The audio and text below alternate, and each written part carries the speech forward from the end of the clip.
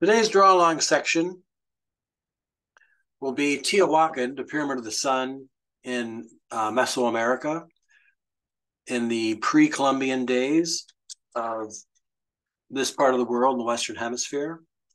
It's an odd site because we really don't know too much about the people of Teotihuacan, the civilization, because it was sort of lost to us for some um, speculative reason, a whole series, whether it was weather based or some type of disastrous flu or something just simply wasn't recorded in history. So it's all basically speculation, but aspects of their culture, of the Teotihuacanos, was picked up by Aztec culture. And so some of the legacy gets carried on by other religions later on. So for us today, this is our last world religion, which kind of speaks for many other religions that don't have quite the same plurality or numbers behind them to hit the list of the first nine we drew. So this one is a bit more of a multi-ethnic because it, it's been used over periods of time by other people and speaks to a different type of religion, which is based on the stars, the sun, the principal Teotihuacan deity was a female, the great goddess, who's often seen on murals with a mythical tree over her head. She's also known as the spider goddess sometimes because of the numerous birds and spiders that fly above the tree. So Teotihuacan, again, is in pre-Columbian Americas. It's located just about 25 miles outside of Me- Mexico City in the sub-valley of the Valley of Mexico. So related to it, of course, because it is pyramidal. You just see in the image over here, it's a massive construction of human might can see uh, a relative model now from the view we'll draw it. We'll be looking at it from this left side as it sits on the Avenue of the Dead. And it'll be a simpler perspective because it's not very ornamental because a lot of the detail would have been lost over time.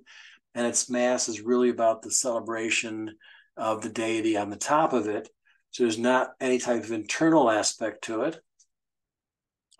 But it does have the presence of the pyramid that's shaped from other societies as well. Well, before that, thousands of years before that, is the Grand Pyramid of Egypt, which still today is the largest pyramid ever built. And what these three, I'll show you also now a Mayan one, also in Mesoamerica area from later on after the Teotihuacans. But what they all share is that principal form of a pyramid so it's triangulated in the third dimension there. So it's got the greatest ability to be stable over time. And so you have something like this, which got started probably the century before the birth of Christ. And then um, this is obviously thousands of years old. And this is also getting up to being 1500 to 2000 years old, this coming series of centuries. And they really maintain their form very well because they're in the optimum position of having that weight distributed down along the angle of a 45 to prevent any type of erosion. So if you take away the two that are sort of in the same language and get back to Teotihuacan, somewhere settled around 200 to 300 BC. It reached its zenith about 800 years later in 400 AD. That's sort of the high point. Most of the stylistic things you find historically in architecture have got the early phase, its growth and development to its high phase where it peaks, and then sort of the downturn of it, which by 650 to 750 um, kind of marks the end of Teotihuacan as a major power in the Mesoamerica. So let's look at this in perspective now, and we'll see that we're going to be drawing this from a viewpoint across the Avenue of the Dead, but raised up on a plinth. So we're sort of not on the actual ground plane. We're kind of midsection, maybe the lower third section here of where our horizon line will be. So from your tick marks here, we'll see that that point of reference is almost splits the page in two. So we're raised up, so we're looking down a bit as well as looking up to the massive pyramid. Now, because it's it's such an enormous complex, it's a city that grew to have, they speculate, maybe a quarter million people, which would have made it, oh, probably the sixth largest city on the planet at the time, if in fact there were that many people. As it grew to that, it had this enormous cultural impact on this part of the world. So because it's so broad and we're stepping away to get encapsulate as much as we can in a view shed of what the camera picks up, and then we'll sketch the same area.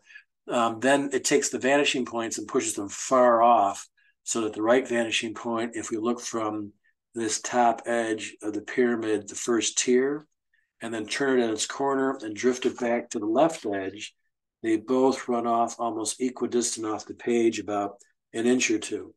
So remember that any horizontal line is going to have to go back to those points following off your page a bit. So what we'll do is we'll sort of locate that pyramid first. Move that back a bit. Continuing with the three main terraces here. One, two, and on the top. Kind of crowns that form. And then to allow it to be um, resistant to the pressures of all that stone growing vertically off the face of the earth, again, the sides are angled back down in that pyramidal shape. So each one will have a minor step to it as it makes its way down, down, and then finally meets the same plane that the walkway's on, and that is, from our point of view, sort of a touch tone for where the drawing is going to be configured. Do the same for the other side. We're seeing a little bit more of the left side of the pyramid. These are a little bit shorter as they come down. But these are all parallel in space, and we don't really have to vanish them up to a point. But you can see they all would eventually come to something right about up here as those diagonals all being parallel vanish at the same point if they had that uh, we went ahead and did that to the vanishing point and then we have at the base here the line of the closest edge to us of the avenue of the dead. And the far side of it vanishes back. And it does return to the other vanishing point, which we could use on secondary roads and movements, but it is such an enormous complex that, that doesn't happen within the viewshed we're drawing from now. It's all a lineal path. It really moves its way off to the horizon line here. And at that point, we start to see our view, since we're up, we're going to see some of the land tack back to this height in the distance. So this is probably a mile or two away. And this is probably a mile or two away. We see vegetation on the plain. And then, as a form of reference, there is an actual natural hill, a mountain in the distance, that probably is larger than the pyramid itself. But in this kind of view shed here, it almost seems like it's a man-made mountain foreground and a natural mountain in the distance. And then this movement of Earth vertically then passes through and goes off in the distance. And we see it picked up again with the mountain range coming off of our final height here of our first step. So this is just as high in the distance, but it's going back in perspective, so we see less of it as it trails away. So we need to get the notion of how far we can push this back with detail uh, to get the, the presence of this being the middle ground or foreground be some of the uh, ruinous type of smaller walls on top of the built architecture, the twin to this on this side, which will be our foreground. So uh, speaking of that, we'll just start with some of the uh, decayed walls, which are broken out and then have openings down. So we won't see them because they're mirroring the stairs on this side. We'll draw in a little bit. So when you come to the openings here, there are stairs down to the lower level of the Avenue of the Dead. And then we'll see the shade side of the depth of that stone wall. And that returns over here and gets picked up again at this point, and that returns over here. All those lines kind of loosely vanishing to that left, right vanishing point. And then it comes to a bit of a corner, and now off of our left vanishing point, this one returns and shows that this was a type of space or outdoor room, at least in a ruin now, it encloses that bit. And then it continues again to yet there's the top of that wall. Another outbreak of vertical stone with a plinth on that. So we've got a little bit of language of how that'll meet. And in the foreground here, it kind of trails out to just being sort of open air walking down. If we come to this edge, you look down, you would see that across the way, the same thing we see here. And that will be the movement of these stairs coming down. Across here.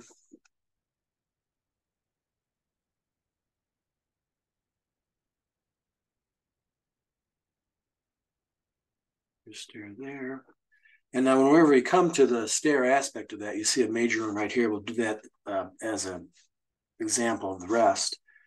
The pitch is going to be the tread riser ratio of moving up from the Avenue of the Dead up to this upper terrace up here. So that's a strong line that runs up. It kisses the pyramid itself. On the other side, it keeps trailing off and extends onto that vanishing point. So we're drawing now probably the longest distance we've had in the sketch in this 10 point series of literally uh, probably a mile and a half of movement just from this point to the distance in the back there. So to give an idea of the scale of those, if we associate that with human endeavor of moving up that, the types of treads are are well beyond what we have to do sort of accurately in the sketch. So we'll just diagram in the notion of these moving across to show they are rising up from the base up to there. And then to give a definitive scale to the height of those, because no matter where you are in the world, the scale to all stairs is predicated on the human figure, because that's an ergonomic reference. So if you manipulate that, you manipulate how people move. So to make them uh, utilitarian and, and, purposeful, they all follow the same equation that um, two risers and one tread, if you add them together, they can't be more than 26 inches and less than 24. So somewhere in that realm are the stair tread riser ratio for this, and then it steps back over here towards our end and does it one more time. And these are all horizontal lines. And again, they're going to trail back. They're all parallel. They're going to trail back to that point don't worry too much about making them all vanish because it's such a tight line work that it'll all fit that area fairly well. And then there's a break right about to here. That steps out, and we have yet another one that rises up.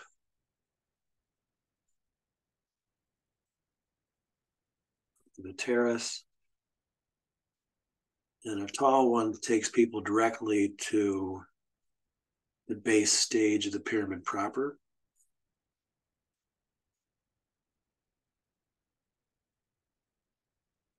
And then a bit back down the way, there's a shorter terrace in front of the pyramid.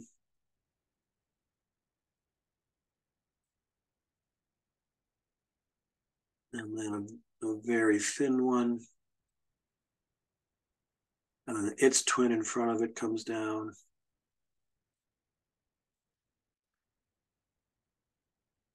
And then the rest are just chamfered walls, which are supporting the earth from pushing out from its wall up above. And then way in the distance, you see, see a couple more of the angle that periodically will take people off again from the Avenue of Dead back up onto the ceremonial spaces. So at the base of this, terrace one, two, and three, there is a very short plinth for it, what wraps around.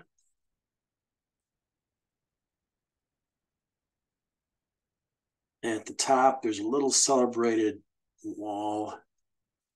It's the smallest horizontal piece that wraps around. And then uh, you see a little bit because up at the top is where the most ceremonial aspects of it and it's a little bit of a bump out from our final piece there. So with the lines laid out here, uh, what we're going to do is lay down our first kind of zone of picking the, the sun's position. So let's establish it on the right here. So we want to make this appear broader and brighter. and the facing of the step down to the Avenue of the Dead. So we'll simply come over onto the opposite side and wash those out right away.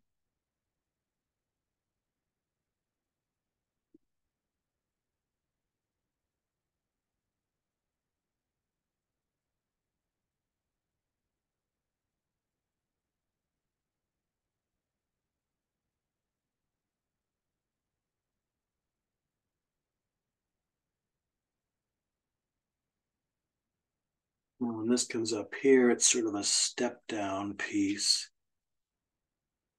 It moves along in a block-like fashion.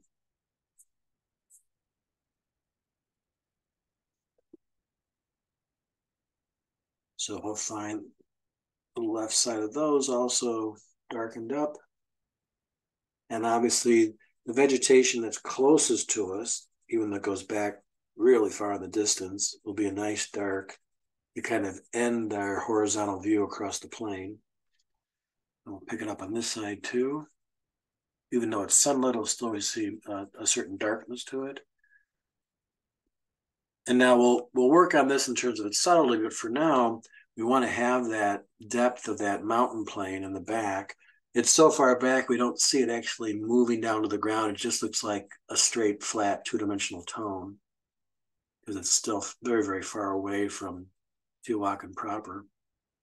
And the one over here, it's even lighter. So the same mountain range there comes back and we see less. So we'll differentiate that we move uh, further on, but that's kind of our placeholder of value that's going to light this space up. So on the sides of the, the projection now, if the sun's coming down here, it will create shade lines on these part of the stairs, which also step just like there, there's a plateau and a step over here.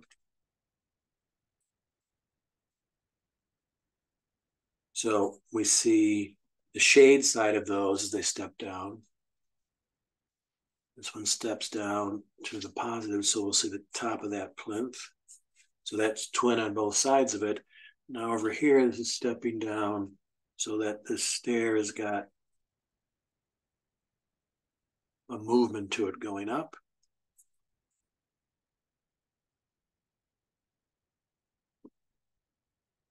And then there are little bracket walls that project out.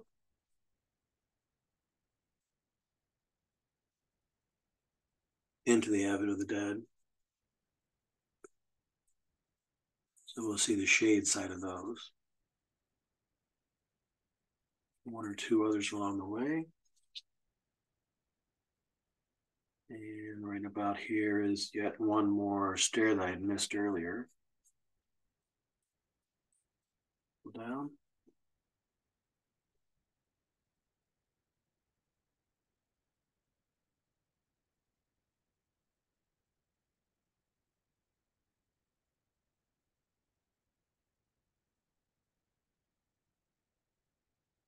And there's a little bit of movement of the vegetation that comes from the background that actually comes up onto the plane of the top here. So that's between here and the distance, but then there is vegetation, the same type of tree that's actually closer to us and rises up just about to the underside of the second plane here.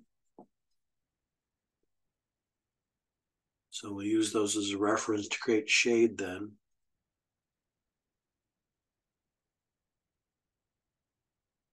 And they wrap around the corner over here and in the front.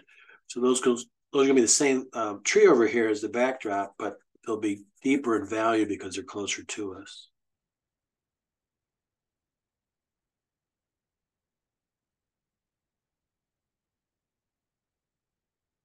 And then a couple on this side of it, which will also be darker because they're closer to us. Again, the same vegetation has to receive a greater value if it's in the middle ground than in the background.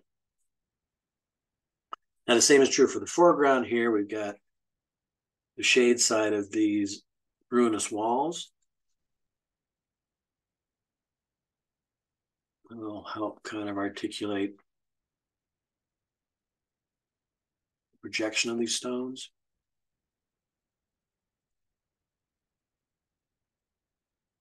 And then the cast shadow line, because this comes down and throws a shadow onto here and then the ground, which again is going to be a little bit darker than the shade side of the wall. So that'll come down and throw a shadow line, the base of this one as well.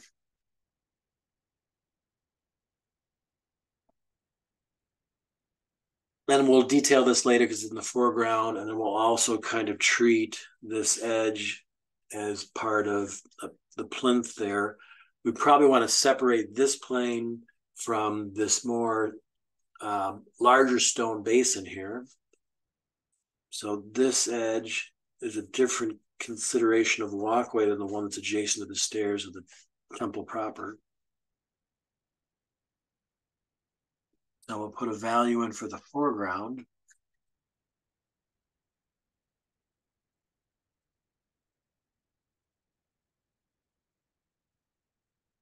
Just to pronounce that edge instead of just a line mark. And we'll simply wash it out toward the white of the bottom of the page and not make too much information there.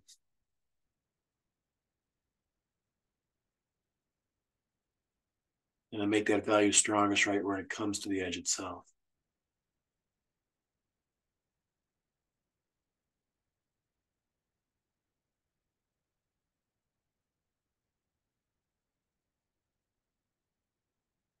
And this has a whole series of large flat surface stones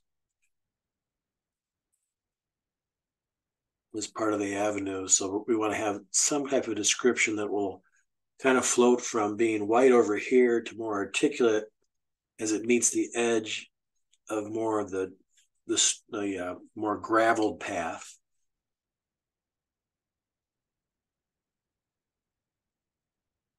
Top of that wall there. And then as it, it moves out, it kind of stops. Maybe this is more of through the years, they've changed the surfaces just to modernize it for tourists, but that break of all that texture ends right about here. So we can collapse that line work as flat shards of stone parallel to the ground plane that is a cruder walkway than the gravel adjacent to it.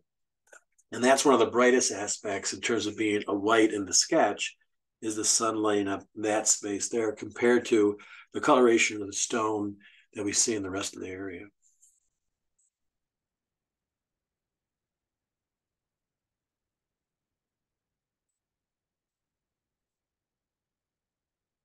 And all these guys have not really handrails, but they've got sections of stone that come down and, and bracket both sides of it.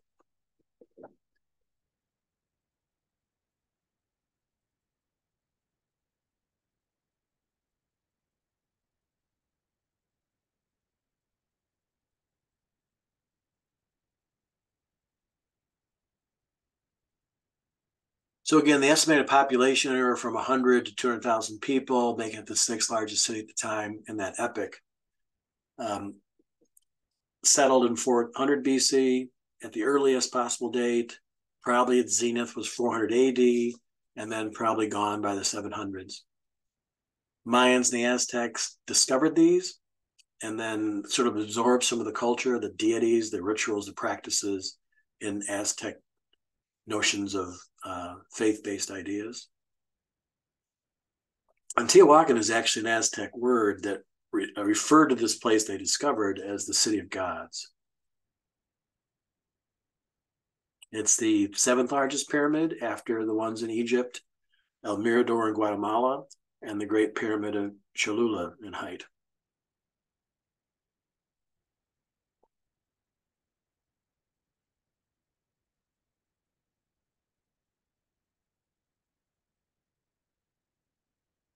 Okay, so our next aspect is to bring in um, that edge work conditioning of the line work, which will give us our final value of line, and then we'll go from 40% to black again to pull the architecture off the page.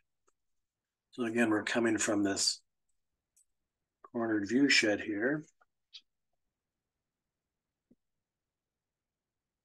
I'm looking up right about here. And again, this doesn't sit directly on the ground. It sits on its own plinth. So still beyond uh, beneath this is the step down to the Avenue of the Dead.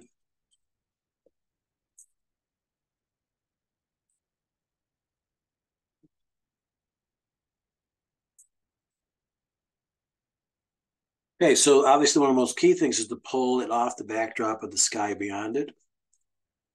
So come to the top and then make sure we really move that delicately across that plane because that detail of how it steps is the most important kind of profile of the architecture. And it's going to step through that last one and finally come down that plane. And then we want to have the steps that go up the side too. So behind those trees there, the tops of each rise will be actually defining space beyond them. So make sure you're always changing your pencils. The ones I just did, some of the stonework has become a flat point to it. We've lost any type of detail. So bring in your next sharpened one and make sure you delineate that and hold that edge. You turn around the corner, even on the bright side now, that edge is very important, those back corners, to pull that off of its neighboring line weight. And then we'll use that line work over here to edge the raised platform. And then parts of the architecture projects out and holds volume next to it. So every time the stair projects, this side of it is holding space beyond it, this side isn't. The rest of these lines are stuff for things facing us, so it isn't really hiding space. But here again, that will that well. This one. Marching on down there. Some will be sectionalized with drops of space coming off of them.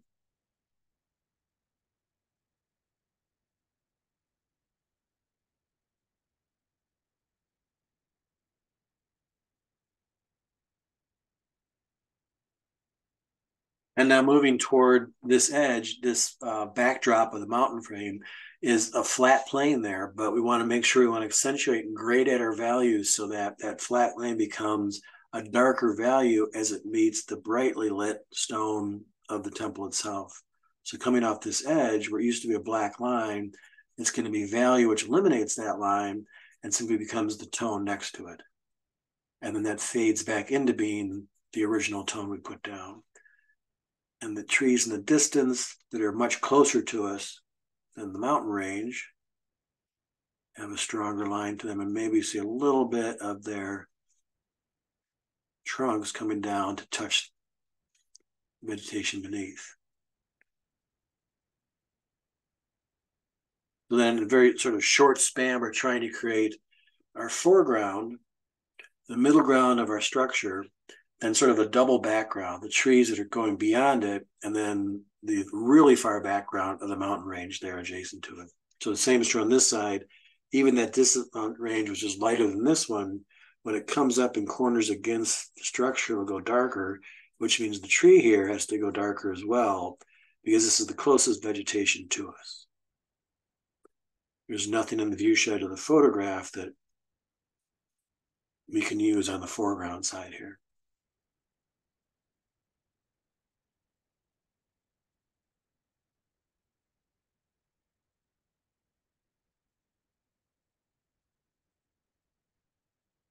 Now very quickly, I think because of compositionally, it's uh, a bright blue Mexican sky.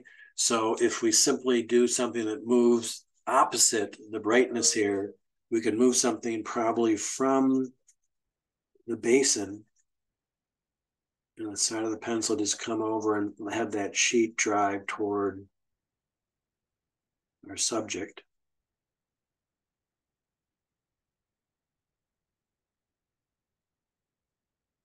And we'll blend it up. And take it to the other side because we need that little bit of tone to accentuate the brightness of the sun on the stone.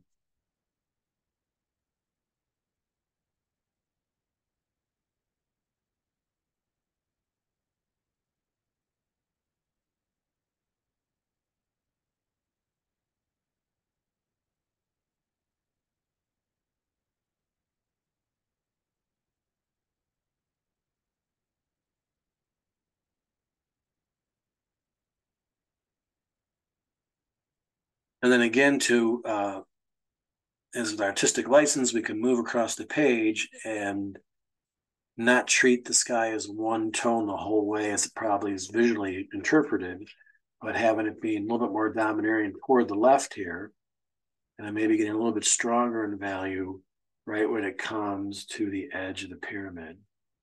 So that we'll have the depth of the sky be right adjacent to the edge of our shade side.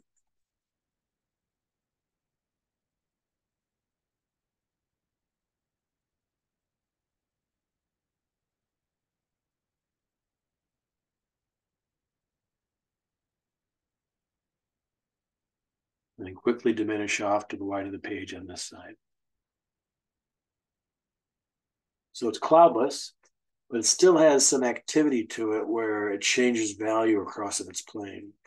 If you make it monolithic in one tone, it'll read more vertically.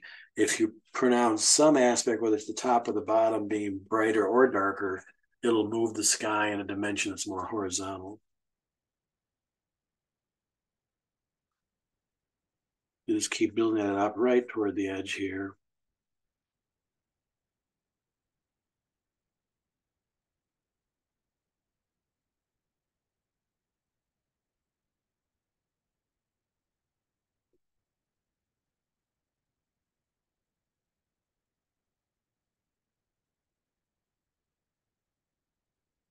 Teotihuacan's on one side of uh, Mexico.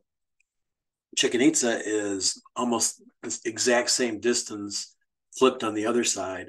Distance between them is about 900 miles, but they're really exotically the same in that they're both sort of astronomically aligned. We've seen that in other structures too, in terms of faith based architecture. The positions of the temples, sacrificial altars, even residential complexes are aligned to the movement of the sun at different times of the year. So the heavens up above to most of the more primitive cultures would have been tied to their understanding of their beliefs in the sky above as an active part of the religion.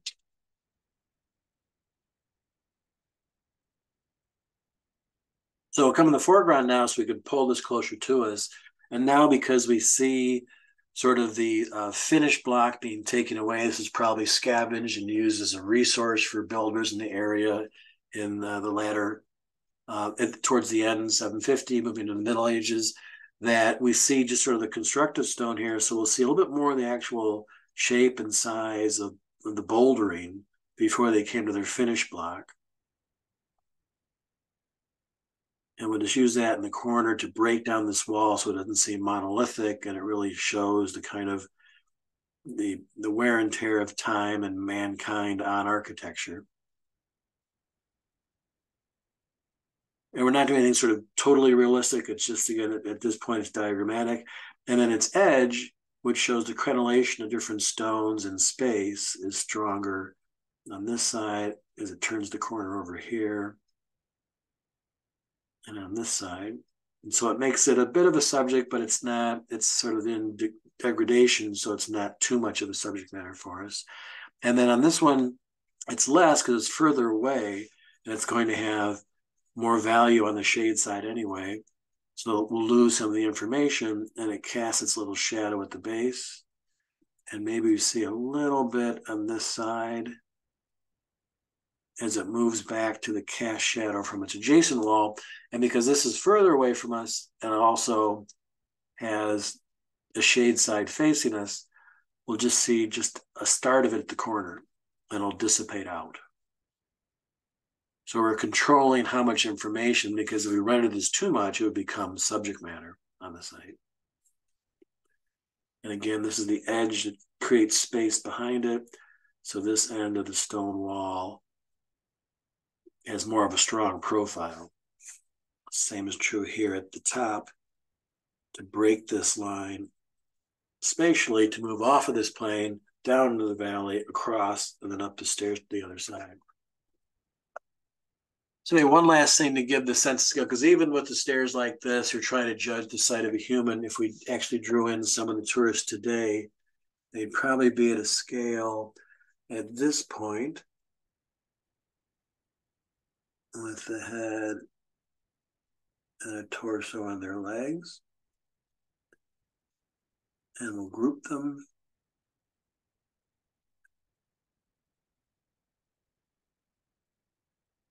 We'll do a couple down the road. Getting more diminutive, change the value of the torso from the legs beneath them, cast the shadows so they're actually on the site there. Be some further down in the, there's a plaza in front of this, the cross axis for the Pyramid of the Sun here. So a lot of people take their photographs there. Them in the distance. If you change the scale, the people become children. If you make them larger, more adults. And again, you move back toward the perspective, they'll get more diminutive anyway. It would be just little bits of graphite and distance walk with the on the avenue.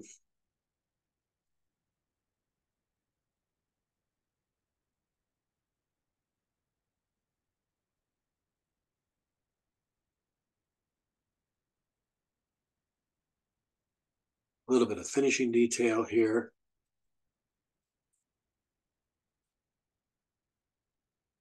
Each one of these blocks has got a finished course of finer stone.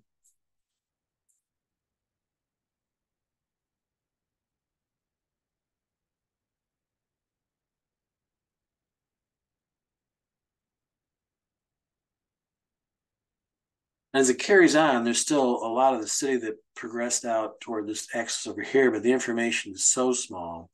Just to break that up into diagrammatic lines to show more information but no detail to it might help.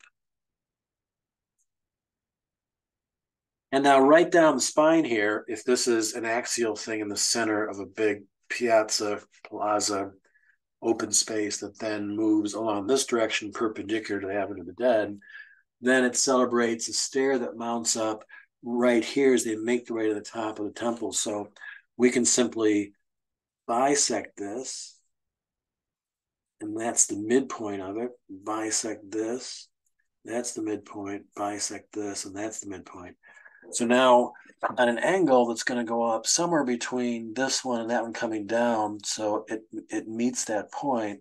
That'll show you the midpoint of that stair that's going to step its way up. So that's the center of the stair. So we can make parallel lines on either side of it. Which will chase up the pyramid. And though, even though they're barely perceptible at all, we can come back in and give them a little bit of a line tone, which will give a value of the stairs that are cut into the pyramid proper so people can make their ascent. So then to really change the scale, not only are they moving back and getting smaller, but they're moving up. So people on this plinth up here would be probably at this scale. So we could draw a series here to give a sense of the ascent. And they're so far away, they'd just be little tick marks of value.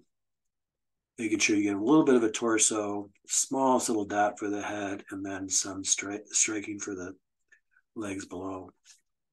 And that's enough to show that that's still sort of an animated part of the tourist path when you make it here. Our final steps now is kind of clean up that last little bit. We've got our line work in. Now, where do we go with the absolute 80 to 90 to final black in the drawing?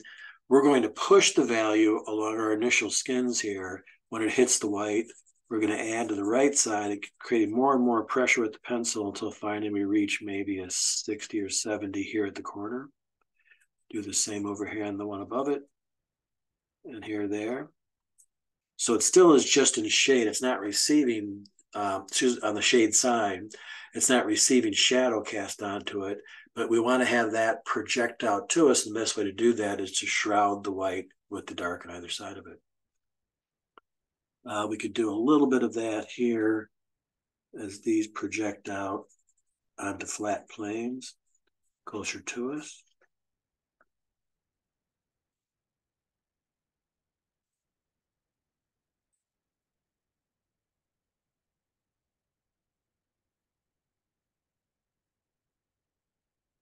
A little bit on these. Just to show some more of the the closest objects to us get the most variety of value and uh, change over. So the cast shadow next to the shade sign.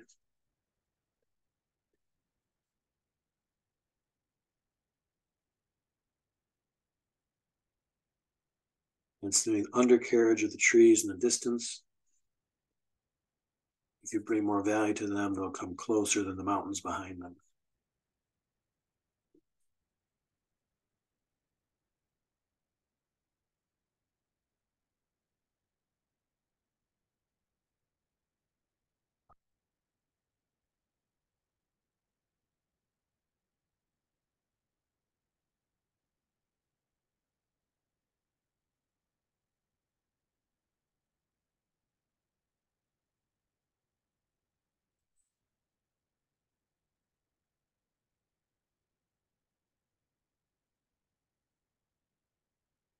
Teotihuacan, from the first part of the first millennium, coming into its own by 1 CE and coming to its apex in 500 CE, and then sort of just disappearing in time until being rediscovered by the Aztecs.